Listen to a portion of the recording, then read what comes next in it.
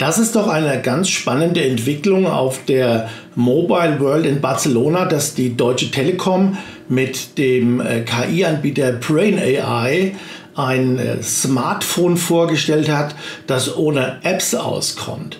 Also noch nicht ganz, aber als Prototyp doch schon eine sehr beachtliche äh, Sache, dass beispielsweise eine Flugreise direkt über die Sprach- oder Texteingabe äh, gebucht werden kann. Das heißt also, ist die Zeit der Apps vorbei? Große Frage. Ich hatte das die Woche auch in einem eigenen Beitrag schon mal angesprochen, denn die Entwicklung scheint wohl mit künstlicher Intelligenz dahin zu gehen, dass man seinen privaten, persönlichen KI-Assistenten sozusagen auf dem Smartphone dabei hat.